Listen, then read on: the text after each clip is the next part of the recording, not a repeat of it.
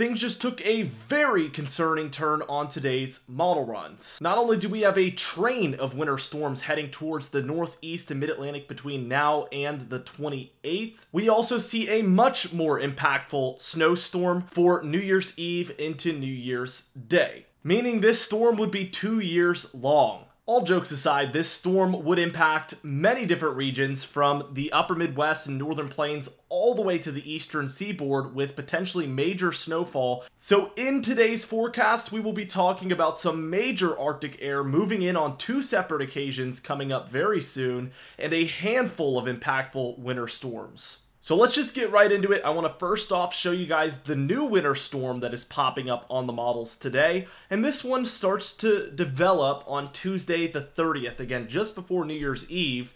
And we can see this one diving southward into the northern plains like North Dakota, South Dakota, Minnesota, Iowa. We also see some snowfall occurring for Wisconsin, Michigan, and up into Canada, as our primary low is primarily located between the Hudson Bay and Great Lakes there. By 7 p.m. here on the 31st, we do see moderate to heavy snowfall occurring for Illinois, Indiana, Michigan, Ohio, up into Canada. As we keep progressing forward in towards New Year's Day, here 1 a.m., January 1st, 2026, we do see moderate to heavy snowfall now for Ohio, West Virginia, Pennsylvania, New York. And as we keep moving this along, we can see this low begins to try to develop offshore. Meanwhile, we have severe Arctic air diving southward along the east coast. So this is going to allow for the potential for snowfall pretty low along the mid-Atlantic coastline. And if this low set up differently, it could even be further south than that. For now, we see basically from the Delmarva, Maryland, D.C. area northward some moderate to heavy snowfall set up along eastern Pennsylvania, New Jersey, upstate New York, and into New England. This is by the afternoon, and I mean, as we head towards the evening, we see things get even heavier up there for New England.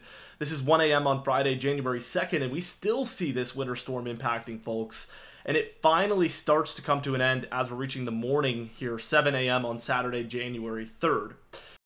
Potential snowfall for this one would actually be uh, surprisingly not as intense. I do have to use the 10 to 1 ratio, which is a little lower than likely a lot of this would be. But we see the Midwest, Great Lakes, Ohio Valley, into the Mid-Atlantic and Northeast all kind of impacted by this one, with the most impacted area being upstate New York into New England, where perhaps 10 inches plus would be possible, although this system is so far out that these the specifics aren't super critical.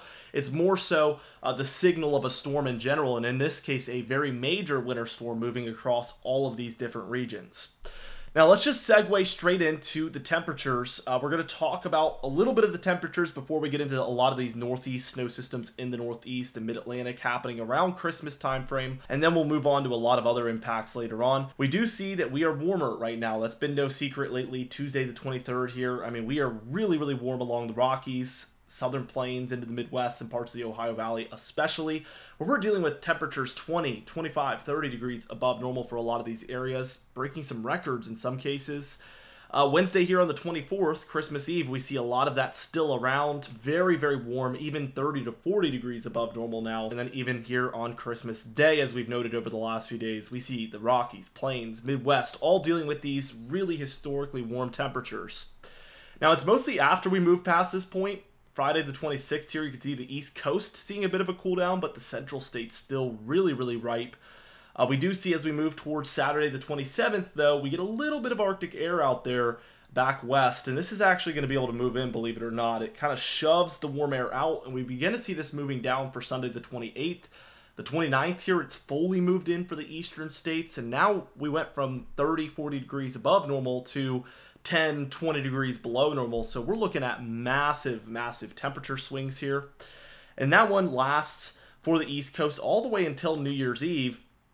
And then with that major winter storm that we see move in, we get another Arctic blast moving in for the 31st here into the 1st of January, where we see not only 10 to 20 degrees below normal, but in these bluish shades, 20, 25 degrees below normal, and these magentas, 25 to 30 degrees below normal. So a massive Arctic blast, perhaps right around New Year's. And that one does last a couple of days here. We see the East Coast still dealing with these really cold temperatures for Friday on January 2nd. Saturday, January 3rd, it's starting to move out, and then we do eventually warm up on this model. All things must come to an end, but really, really severe cold compared to what we were seeing just a few days ago. Let's take a look here at the simulated radar for this pre-Christmas snowstorm, though. I want to talk about this one for Pennsylvania, New Jersey, New York. It's already going on right now as we're talking. We do still expect a little bit more for New England. By the time you're watching this video, it's probably going to be around this point. So we will see upstate New York, Vermont, New Hampshire, Massachusetts, and Maine still seeing some snowfall. In a lot of areas between New Hampshire and Maine here, we see overnight, 1 a.m. here tonight, still seeing heavy snowfall. And even by sunrise tomorrow, 6, 7 a.m., something in there, where they could deal with 6, 7, 8, 9, 10 inches of snowfall. I can't believe I just did 6, 7 twice right there. Uh, as we move past that, though, we do see that eventually come to an end. It, it, wants to stick around into the afternoon for parts of Massachusetts as that wind kind of turns from moving towards the west. More southerly, uh, it's able to really swing a lot of this snowfall down. Maybe Boston, areas like that will pick up an extra inch maybe from this type of impact. We'll have to see what happens. Uh, but that comes to an end, and then as we reach Christmas morning, look at this. Uh, we have a lot of snow showers. This is looking heavier and heavier every single model run, but we see upstate New York, Vermont, New Hampshire, and Maine, even into Massachusetts, Connecticut, Rhode Island, seeing some snow showers during the morning and afternoon of Christmas Day. So some more flakes flying. Truly a white Christmas in these areas if that occurs with a bit of snowfall still on the ground. So the biggest impact here is travel though with this initial snowstorm. So if you're traveling today, or into the overnight. Just be super careful. There will be snow coming down, obviously, and that's just going to be really disruptive, to say the least. Total snowfall for this time frame is going to generally be a dusting up to an inch or two in the grays, which we see for a lot of areas in Pennsylvania, New Jersey, and southern New York and southern New England. It's mostly as you head towards uh, the Adirondack Mountains of New York and into New England, where we deal with two to six inches perhaps in the blues, and even six to ten in those purple shades. Where again, between New Hampshire and Maine, we're maybe pushing eight, nine, ten inches of snowfall before it's all said and done. Now the ice with this one is going to be pretty minor. Uh, we do see a little bit on top of the snow for parts of Pennsylvania and New York, maybe there along the Berkshires uh, between Vermont and uh, Massachusetts, but pretty minimal with this one, which is going to be very different than the next one because the one that's coming after Christmas here is going to feature a lot of ice, perhaps, uh, which could be insanely impactful. So, for those of you who have traveled away from home before Christmas and are going to be traveling back home after Christmas, this one is also going to impact you on the way back home. We see this one start to move in for Friday the 26th around 1 p.m. Eastern for Pennsylvania, New York. And we see some snowfall in the northeastern side of things. And then on the southwestern side of things, heavy freezing rain coming down for parts of New York, Pennsylvania, uh, West Virginia, Maryland, even into D.C. and Northern Virginia there. A lot of heavy snowfall there for northeast Pennsylvania, northern and central New Jersey, New York City, Long Island, Connecticut. This seems to maybe be the bullseye that we're watching for that area for this particular system. And this is 1 a.m. on Saturday. As we keep going, that does lighten up, obviously, and start to come to an end. Uh, and for total snowfall with this one, we do see a widespread area of grays where it would be one to three inches of snowfall, perhaps. The blues, two to six for a lot of the Finger Lakes there, a lot of upstate New York in general, eastern Pennsylvania, uh, even parts of southern Jersey with this one. Uh, but really, the bullseye would be for areas in northern Jersey, New York City, Long Island, perhaps. If this trended north, I could see it more so being Connecticut, Massachusetts, Rhode Island. Uh, we're trying to figure out where that bullseye is exactly going to set up, but this could be a plowable snowfall event for a lot of areas here. The freezing rain with this one, like I said, would be huge. Uh, we see anywhere from a quarter of an inch to half an inch of freezing rain for parts of New York, Pennsylvania, West Virginia, uh, Maryland, D.C., but the heart of it would be over central Pennsylvania, west central Pennsylvania, somewhere in there. It does appear right now where you're getting kind of the best chance of seeing maybe close to a half inch of freezing rain, which is significant. That's not only a travel concern at this point, which it's a terrible travel concern, but we're talking about branches, power lines, all sorts of other impacts as well from something like this. So we really need to pay attention closely.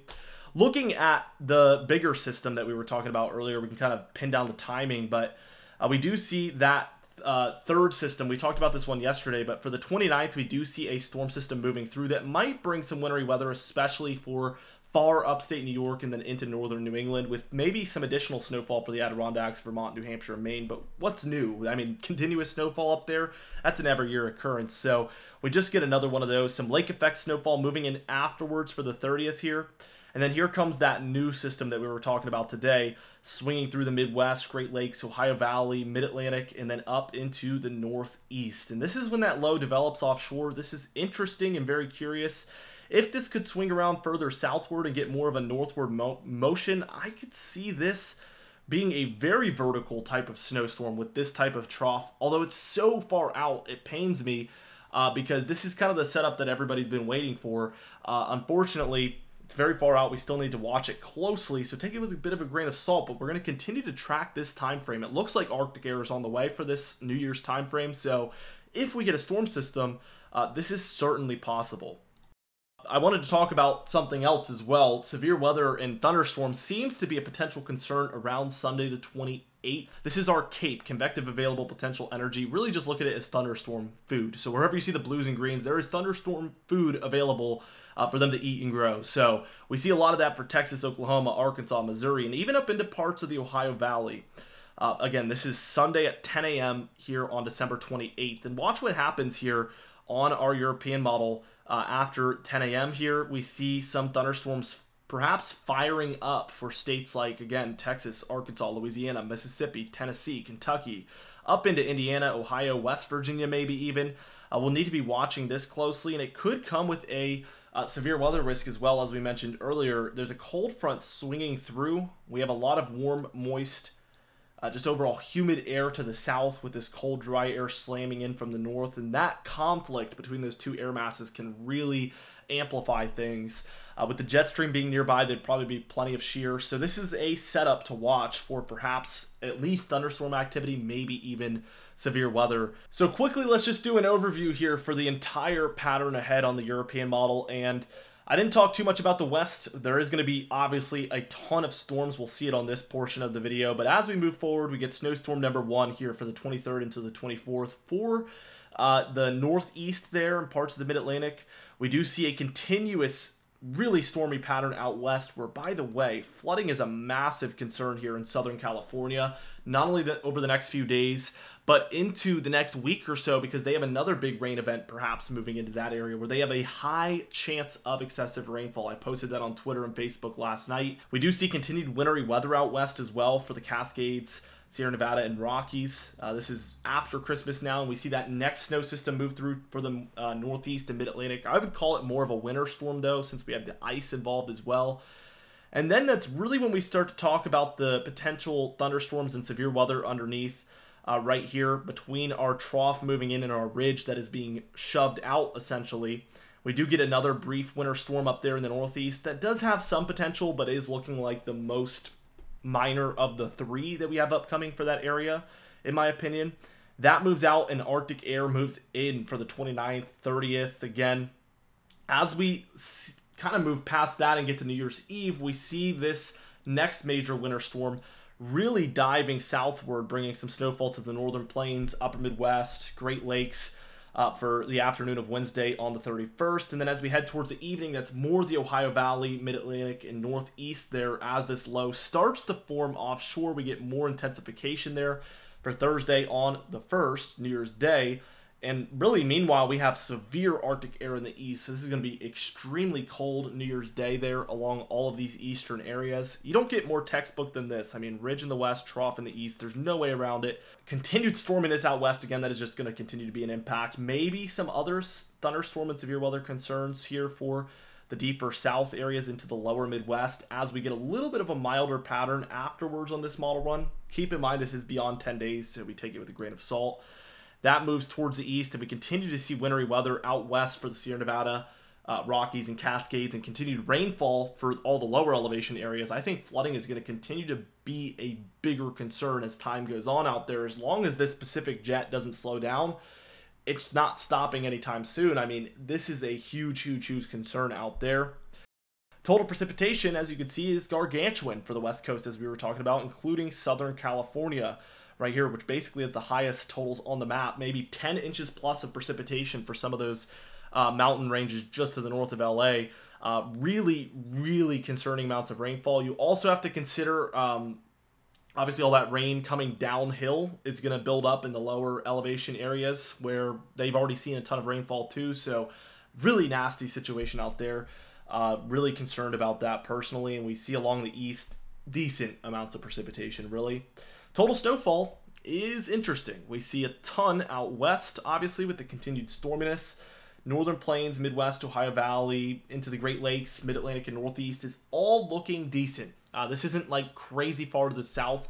I do want to take note that a lot of this is from that bigger winter storm that we see around New Year's. A lot of this is as well. You can see it's just offshore. If this storm was further west, just a little bit, all of that would be on shore for these areas, which would obviously be insane. So imagine this further to the west and basically huge totals all the way up and down. It's very vertical. It's reminiscent of uh, the Boxing Day 2010 storm, but again, it's just so far out. So we'll have to see if this continues to be a threat for when that trough moves in or not, but we're going to track it here on the channel every single day. So be sure to subscribe.